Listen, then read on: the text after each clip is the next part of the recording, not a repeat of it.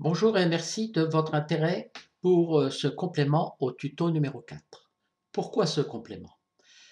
L'un d'entre vous, J2G2, m'a fait remarquer que mes explications entre masque d'entrée et masque de sortie ne s'appliquaient pas à tous les cas et il a tout à fait raison, je l'en remercie. Vous avez peut-être lu son commentaire actuellement affiché à l'écran et ses explications. Ce sont celles-ci que je veux expliciter dans ce complément. Ceci me permet de vous faire cette remarque. N'hésitez pas à nous faire part de vos suggestions, problèmes, soit sur cette chaîne, soit sur le forum darktable.fr. Ce tuto est la preuve que la communauté Darktable fonctionne. Pour illustrer euh, mon propos, j'avais pris cette image dans le module contraste de couleur, j'avais donc créé un masque paramétrique, masque paramétrique à partir du canal L en positionnant mon pointeur par exemple sur cette position. Apparaissent alors les deux petits traits dans le canal entrée et dans le canal sortie qui repèrent les valeurs des pixels saisis dans cette zone. Ensuite, nous créons le masque en déplaçant les pointeurs dans le canal entrée. Par exemple, excusez-moi, comme ceci. Je pense que vous savez faire donc maintenant. Pas facile de saisir tout le temps les petits triangles.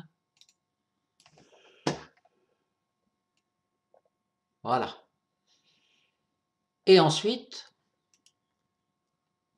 vous faites vos réglages à partir du canal vert magenta et du canal bleu jaune. Si je déplace par exemple le curseur magenta, vous remarquez que les, couleurs changent, mais les deux petits traits ici restent fixes, ainsi que si je bouge le canal jaune. La question qui peut donc se poser maintenant est la suivante. En est-il toujours ainsi? Je vous rappelle que dans cette situation, nous pouvions faire évoluer le masque en déplaçant les curseurs, les marqueurs de sortie, et que nous avions observé dans les petits schémas que je vous avais proposés que des modifications se faisaient lorsque les trapèzes, à la fois d'entrée et de sortie, avaient des, parties euh, communes. C'est-à-dire que si les marqueurs euh, du canal de sortie étaient euh, complètement extérieurs aux marqueurs du canal d'entrée, eh bien l'image n'était absolument pas corrigée. Avant, après, vous voyez que rien ne change, alors que ce soit dans cette position ou que ce soit dans celle-ci nous revenons dans ces cas-là à l'image de départ et donc euh, le masque, nous le voyons bien ici, ben, n'existe plus. Donc, euh, est-ce une situation particulière? C'est ce que nous allons voir maintenant. Je reprends donc la même image, mais non plus dans le module euh, contraste de couleur, mais dans le module contraste luminosité saturation que j'active. Et je vais faire un masque paramétrique toujours à partir du canal L, en prenant par exemple cette zone. De la même façon, je vais définir le masque.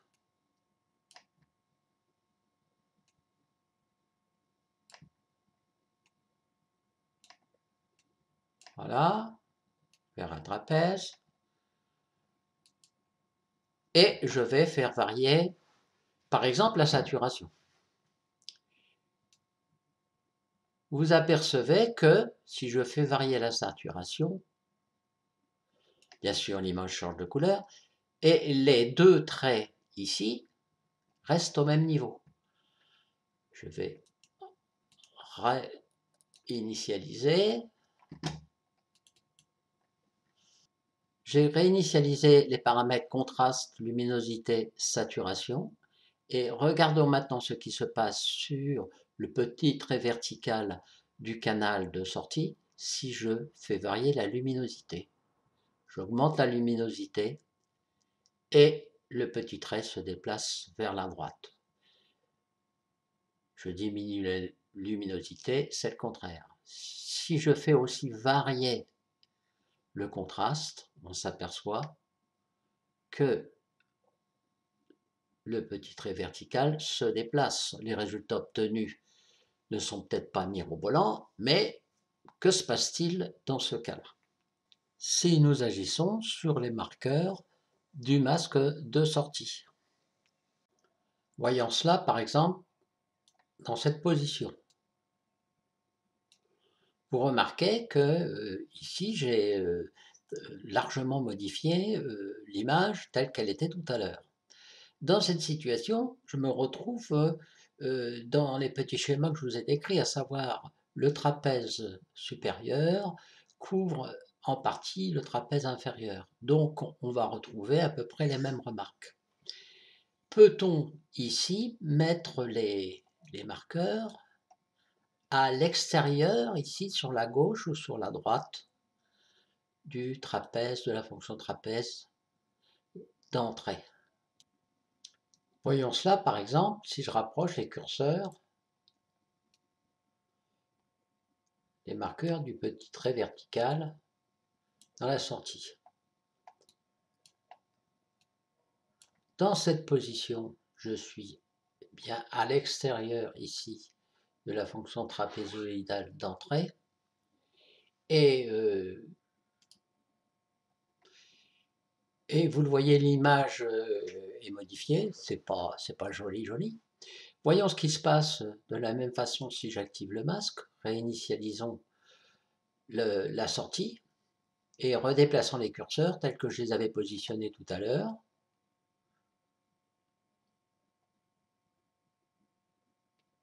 Je suis à l'extérieur ici. Les quatre marqueurs sont dans cette zone-là et vous voyez que dans ces conditions, le masque évolue. Faisons la même chose en baissant la luminosité au maximum. Je vais augmenter un petit peu le contraste. Vous voyez que le petit trait vertical ici s'est déplacé. Si je ramène les curseurs dans cette position, à l'extérieur, ici, de cette zone-là, le masque évolue aussi. Donc, euh, la conclusion que je vous avais donnée dans le, tuto 4 euh, non modifié ne s'applique pas dans cette situation lorsque, par exemple, on fait un masque sur le canal de luminosité si on change le paramètre luminosité à travers euh, les réglages, il n'y a pas obligation à ce que les trapèzes et des parties communes se superposent. On peut très bien agir ici avec euh, une fonction trapézoïdale de sortie extérieure à la fonction trapézoïdale d'entrée. Essayons de conclure sur ce petit schéma. Ici, j'ai représenté le module euh, CLS, contraste, luminosité, saturation, qui reçoit des valeurs d'entrée à travers les valeurs L, A, B, C, H. La valeur L, ici, dans les valeurs d'entrée, nous permet de créer un masque sur le canal L d'entrée dans un masque qu'on appelle le masque d'entrée. Ce masque d'entrée va modifier les valeurs entrées à la sortie du masque d'entrée. On obtiendra L', A', B', C', des valeurs différentes. Mais l'action sur les paramètres C et L, contraste et luminosité, modifie la luminosité après le masque d'entrée. Dans ces conditions, le masque de sortie n'est plus basé sur le même masque que le masque d'entrée, puisque les luminosités ont changé. Dans ces conditions, les deux fonctions trapézoïdales d'entrée et de sortie n'ont pas besoin d'être euh, superposées pour euh, euh, faire varier certains paramètres à partir du masque de sortie. Reconfirmons, si vous le voulez bien, ce que nous venons de dire sur une autre façon de définir, par exemple, le masque d'entrée sur cette image. Je choisis de définir le masque sur la chromaticité C. Euh, quand on parle de chromaticité, on fait référence au, modèle LCH. Revoyons rapidement de quoi on parle. Voilà. Dans le modèle LCH, je vous rappelle que euh, on part d'un cercle sur lequel euh, les teintes sont réparties de 0 à 360 degrés. Et sur cet axe-là, on parle de la chroma, la chromaticité, en, voulant dire qu'on va de l'extérieur à l'intérieur sur des teintes de plus en plus colorées, on dit aussi saturées, vers des teintes de moins en moins saturées. Derrière chromaticité, on parle aussi de saturation. Donc je vais saisir une valeur de chromaticité avec ma pipette, par exemple, euh, par exemple ici. Je vais définir mon masque d'entrée par ma, fonction trapézoïdale. On va agrandir un peu. Voilà. Donc, si maintenant j'agis sur la saturation, il y a de grandes chances que le petit trait qui est là se déplace. Allons-y. C'est QFD. Donc, je me retrouve à peu près dans le même schéma, à savoir que si dans mes paramètres j'agis sur euh, la saturation, les valeurs de chromaticité qui définissent le masque de sortie ne sont plus les mêmes que celles qui définissent le masque d'entrée. Je peux alors mettre mes marqueurs à l'extérieur, ici, de mon trapèze d'entrée. Évidemment, le masque est modifié. Ici, il y aura peu de modifications. On peut agrandir un petit peu. voyez? Euh, Bien sûr, on peut toujours voyez, déplacer un des curseurs euh, du bas euh, du, canal de sortie pour modifier le masque. Et voilà ce que ça donne si je déplace progressivement les marqueurs. On s'aperçoit bien que L'image est modifiée alors que les marqueurs ici sont à l'extérieur par rapport au trapèze de l'entrée. Une petite remarque pour terminer. Si je déplace le curseur saturation, on voit bien que le petit trait vertical sur la sortie se déplace. Par contre, si j'agis sur la luminosité, vous voyez que la luminosité n'agit pas sur la chromaticité, ainsi que le contraste. Nous pouvons donc conclure en disant que si le canal de sélection, en l'occurrence ici C, tout à l'heure L, est modifié par les paramètres de réglage dans le module, à ce moment-là, il n'y a pas forcément lieu de chevaucher les trapèzes d'entrée et les trapèzes et le trapèze de sortie. Pour illustrer l'exemple suivant, revenons au modèle LCH. Si dans un module, je choisis de faire euh, un masque sur la teinte et que les paramètres de mon module ne modifient pas cette teinte, je me retrouverai dans les exemples que j'avais traités dans le tuto numéro 4. Voyons cela sur un exemple justement que nous avions vu.